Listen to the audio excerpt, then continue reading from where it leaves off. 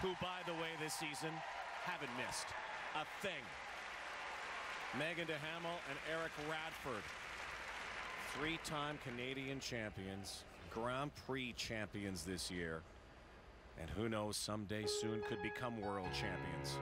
Their best score is the world's top score in the short program, 74 and a half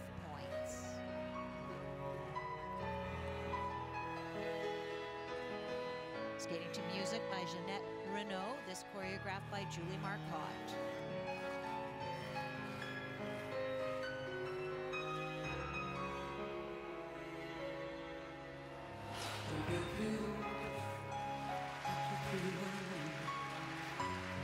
je vais aller encore plus loin. Laisse mon bras me la main. Je n'irai pas plus loin qu'il faut. Encore un pas, encore un saut. Side by side, triple Lutzes. Une tempête et un ruisseau. Their trademark. Perfect Je unison. reviendrai si je redescends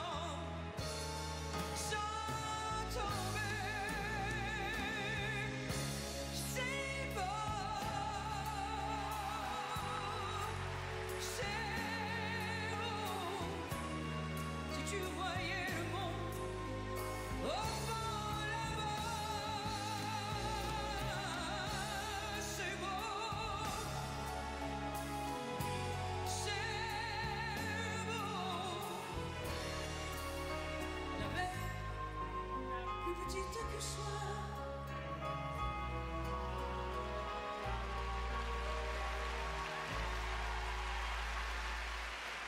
petite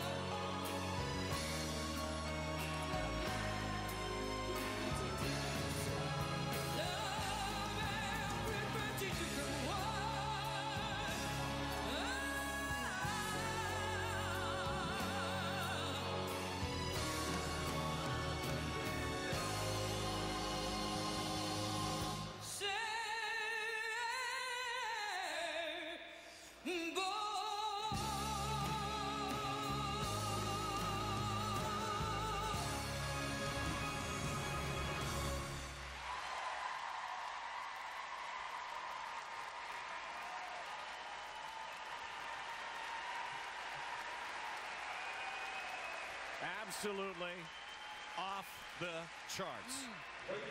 Off the charts. They have become ridiculously good.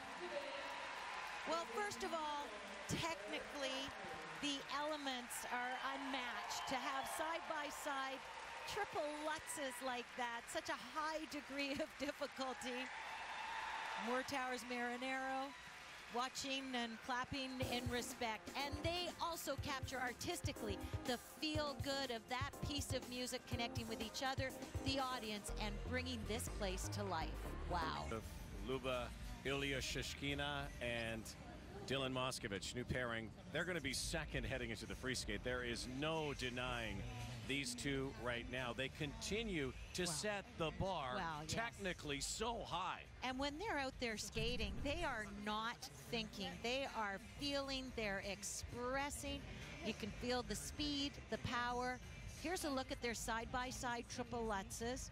Nobody else in the world has been doing them, and they have perfected them. Here's a look at their throw triple Lutz. Nice height. You know, and as she said, it was in control. So right on the edge, they push it, but they are able to maintain the control and get the high quality marks. Love this program, a great vehicle done by their choreographer, Julie Marcotte.